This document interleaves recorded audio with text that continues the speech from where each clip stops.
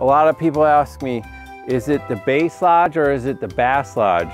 Now, a lot of that would depend on whether you're a fisherman or not. Oh! Do you like catching bass? Or do you like catching bass? I got one. It's at least a six pounder.